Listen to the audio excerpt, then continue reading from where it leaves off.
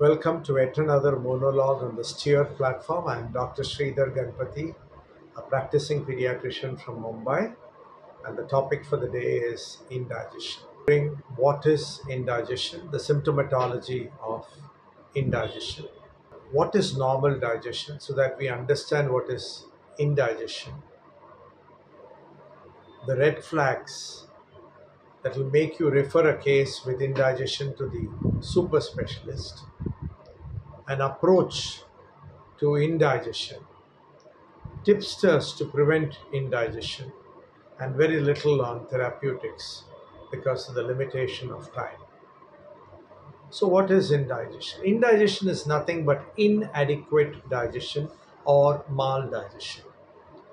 The layman calls it an upset tummy. The gastroenterologist would give it a name called dyspepsia or bad digestion.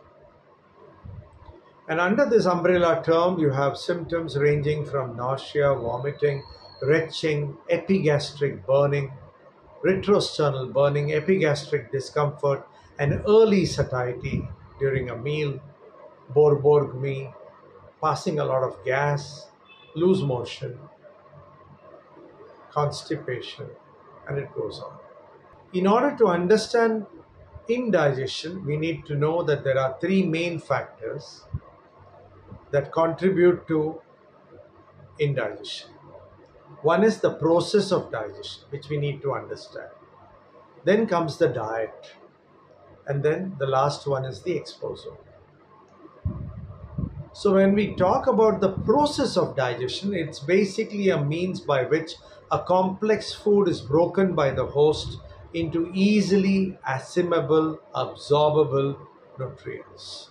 And it's an interplay of many things. So, it starts off in the oral cavity and ends at the anus.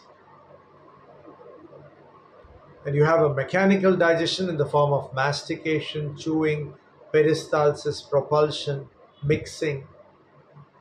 You have a chemical digestion in the form of the diet encountering the alkali in the oral cavity, in the small intestine, the acid in the stomach, and the enzymatic digestion. It starts off in the oral cavity, the salivary amylase, the lingual lipase, the pepsinogen getting converted to pepsin in the stomach, the pancreatic enzymes, the brush border enzymes, the enterocytes, all contributing enzymes for digestion of carbohydrates, proteins, lipids. What escapes digestion is digested by the microbiota. And this digestion is equally important. They contribute almost 50% of the digestion. They break down the unbreakable items into peptides, amino acid, vitamins, short chain fatty acid, which have generated so much of interest, especially the butyrates, which are needed for the integrity of the barrier, as well as for the energy of colonocytes. And most of these metabolites have distal functions, not just at the level of the intestine, but distal functions. So, any aberration in this can give rise to indigestion. Then comes the diet factors. The diet factors is cooked, how you cook it, processed, ultra processed, how you eat it, and the combos. Eating too fast, using a straw to drink liquids, promotes aerophagia and can give rise to indigestion. Stressful environment and you're trying to eat, not syncing with the biological clock, eating at unearthly hours, all can give rise to indigestion. So it's not just the quality, the quantity, but even other factors that promote indigestion. Storage. When you talk about the exposome, in a place like Bombay where it is hot and humid, the stability is an issue. Storage and staleness. And the last thing that we need to understand is we keep implicating diet for everything. But we need to understand the comorbidities that the host carries. So it could be a diabetes with a gastroparesis, an autonomic neuropathy, which is causing indigestive symptoms, or it could be a hypothyroidism giving rise to symptoms of indigestion. What are the red flag signs? Odynophagia, dysphagia, bilious vomiting, sanguineous vomiting, extreme discomfort soon after a meal, retrosternal burning, which is excruciating, having to run to the toilet after eating certain food items, could be an intolerance or could be an immune mediated reaction. All this requires referral. Affection of growth, macro and micronutrient deficiency, they require referral. Now let's go to the approach to a case of indigestion. So the approach can be acute, chronic, organic, functional. Acute, episodic. You have a binge during the festivity and get indigestion. You know the cause for it. short lasting and you come out within a week's time you have an illness, you take a course of antibiotics, you take NSAIDs. Again, this could be episodic, you come out of it. But sometimes the aberration in the microbiota could take a lot of time. Episodic, recurrent, you start implicating a particular item in food. It could be the chips with the sulfur in it or the sulfite in it. It could be the milk causing your lactose intolerance. It could be the raw egg causing your problems, even systemic manifestation in the form of sneezing, itching, urticaria, episodic recurrent. Then you have recurrent with macro micronutrient deficiencies. Could be a celiac, a cystic fibrosis, could be a peptic ulcer disease, could be giardiasis, you have chronic without any growth aberrations but affecting quality of life three times in a week more for more than 3 months.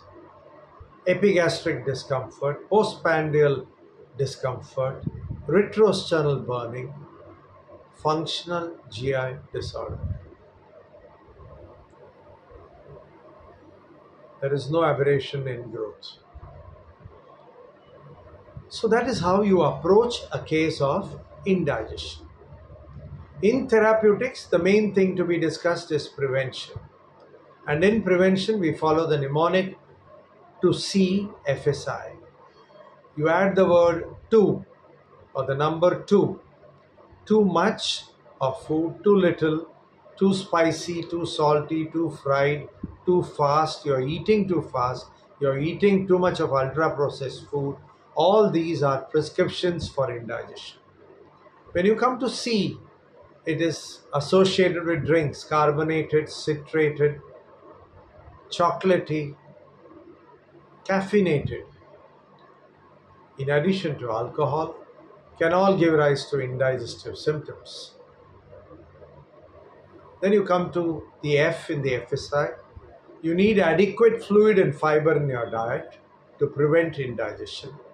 And you don't eat fast. It should be mindful eating and you don't multitask. So you shouldn't be eating and talking eating and singing. It should be only eating at one time. Then you go to s. S stands for sleep stress storage you require adequate sleep you require a stress free environment and your food, uh, food habits should sync with your biological clock. And storage and staleness. Then comes I, iatrogenic. Anything which is an irritant like an NSAID, a bronchodilator like theophylline, a multivitamin like iron, and the list is long, can give rise to symptoms of indigestion. And the last is please. So it is to see FSI, please, please restrict pickle, pepper, pasta, pizza. Then comes definitive therapeutics. Here we have rescue medications like ondansetron for the nausea, retching. We have simethicone for the bloating sensation and antacids. And for the hyperchlorhydria, which is not usually an issue, but the symptomatology like retrosternal burning, the PPIs, the H2 blockers, with a word of caution that you require acid for conversion of pepsinogen to pepsin, and acid is the first line of defense for your GIT. And if you take it on a long term basis, you are developing hypergastrinemia. So when you stop all of a sudden, the symptoms will return all of us. In functional GI disorders, you know it's a it's a gut brain axis, which is which may be at fault, and there is a visceral hypersensitivity or your perception of pain and discomfort is much more. So you may require behavioral therapy and some drugs working on this gut brain axis. A lot of home remedies are used dill oil, fennel oil, that is saunf and ajwain, ginger and turmeric, peppermint, that is pudina, ajwain, and all these things are extremely beneficial. So, the whole purpose of this monologue today is you need to understand to treat. Preventive medicine comes to the fore. Rationalize your therapeutics and use a big chunk of common sense. Thank you.